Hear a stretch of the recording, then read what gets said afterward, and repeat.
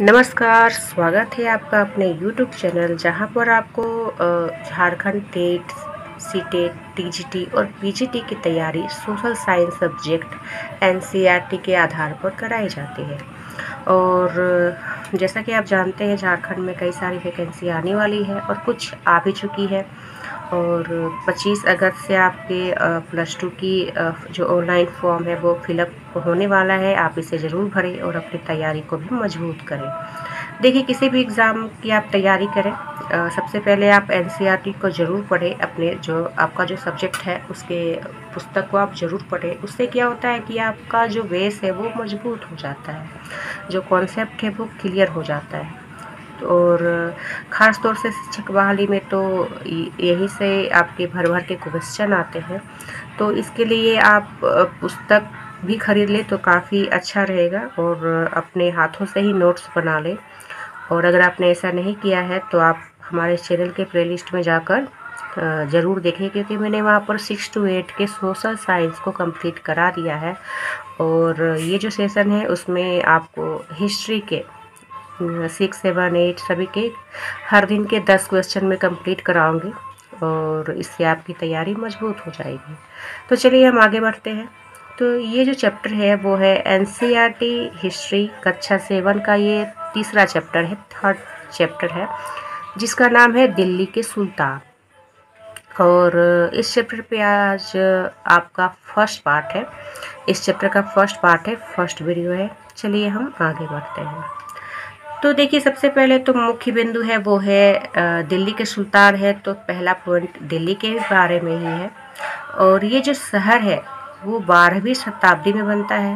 ये जो दिल्ली शहर है, महत्वपूर्ण शहर, ये बारहवीं शताब्दी में बना। और तोमर, आप जानते हैं कह सकते हैं कि बारहवीं से ग्यारह पैंसठ इसका आरंभ होता है।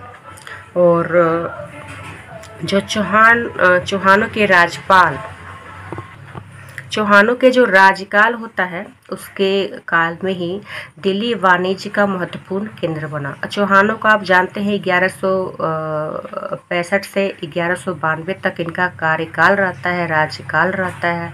क्योंकि हमने पिछले चैप्टर दो में जाना, ग्यारह सौ बानवे में पृथ्वीराज चौहान तृतीय तृतीय हार जाता है गौरी से। तो इस तरह से बारहवीं शताब्दी में दिल्ली जो है वो महत्वपूर्ण बन जाता है और आगे हम जानते हैं कि किस तरह से इन पर सुल्तानों ने राज्य किया। तो नेक्स्ट है फारसी। तो देखिए, सुल्तानों के शासनकाल में, सुल्तानों के शासनकाल में प्रशासन की भाषा वो फारसी थी। देखिए, ये हमेशा पूछा जाता है, सीटेट में भी आया था। कि सुल्तानों की प्रशासनिक भाषा क्या थी? मुगलों की प्रशासनिक भाषा क्या थी? तो यहाँ पर आपको दिया गया है कि जो सुल्तानों के शासन काल में, सुल्तानों की, जो शासन काल था, वहाँ में प्रशासन की भाषा फारसी रहती है। नेक्स्ट है तारीख। तारीख जो है वो इतिहास का एक वचन है और तारीख का मतलब होता है बहुवचन। नेक्स्ट है, तेरहवीं शताब्दी के इतिहासकार। तो देखिए, ये भी पूछता है कि चौदहवीं सदी के इतिहासकार कौन है? मिनाज सिराज किस शताब्दी के, किस सदी के सॉरी किस सदी के इतिहासकार रहते हैं? तो आप याद रखें, मैं हर सदी के इतिहासकारों के नाम को आपको नोट करवा दूँगी।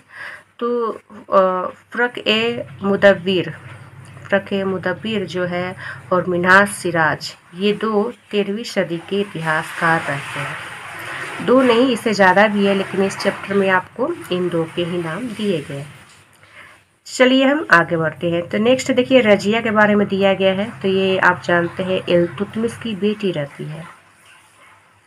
और दिल्ली को राजधानी बनाने वाला ये फ़र्स्ट शासक रहता है इलतुतमिश इल्तुतमिश रहता है। दिल्ली को राजधानी बनाने वाला पहला शासक रहता है, दिल्ली सुल्तान में से, और इसकी बेटी रहती है रज़िया। इसका जो कार्यकाल रहता है 1236 से 40 और रजिया की आलोचना मिनाज सिराज ने किया है। और इसे पेटीकोट गवर्नर भी कहते हैं, आप इसे ज़रूर याद रखें। नेक्स्ट है रुद्रमा देवी। तो आंध्र प्रदेश के वारंगल वारंगल क्षेत्र में इनका राज्य रहता है।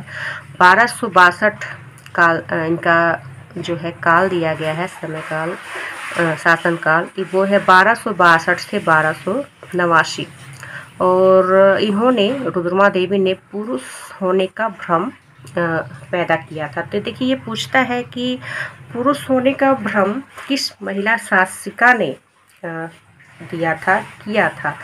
तो इसका आंसर है रुद्रमा देवी। नेक्स्ट है रानी विद्या तो ये कश्मीर की शासिका रहती है 980 से 1003 और दीदी का यहाँ पर दिया गया है बड़ी बहन, इसका मतलब होता है। नेक्स्ट है गैरिसन शहर। और तो इसका मतलब क्या होता है? ये पूछता है गेरिसन गेरिसन शहर क्या होता है? तो किलेबंदी जो बचाव है जहाँ सैनिक रहते थे, उसे गेरिसन शहर कहा गया। मतलब किलेबंदी करके रखा गया था और जहाँ पर सैनिक रहते थे मतलब आम जनता नहीं रहती थी तो उसे गेरिसन शहर कहा गया है। नेक्स्ट है भीतरी प्रदेश।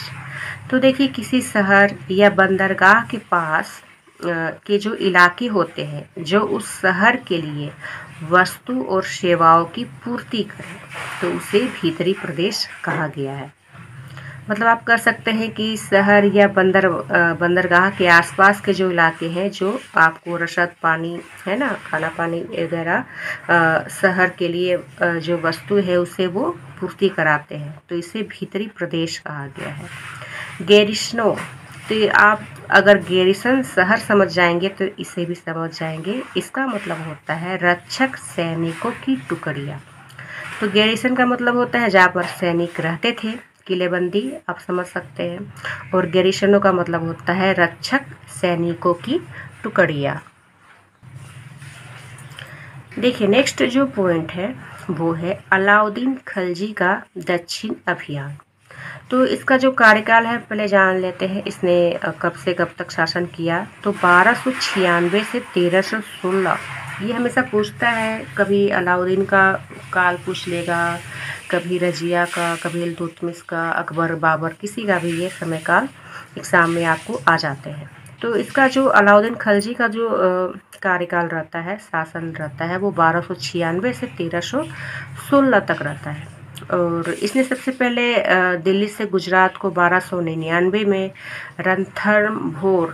रणथंभोर भोर को इसने तेरह सौ एक में जीता। चित्तौड़ को तेरह सौ तीन में। वारंगल को इसने तेरह सौ ग्यारह और तंजावुर को इसने फिर से तेरह सौ ग्यारह में ही जीत हासिल किया था। तो आज के लिए इतना ही रहने देते हैं और नेक्स्ट पार्ट में हम इसी के सेकंड पार्ट को और भी काफ़ी सारी जानकारी के साथ आगे बढ़ेंगे। तब तक के लिए धन्यवाद।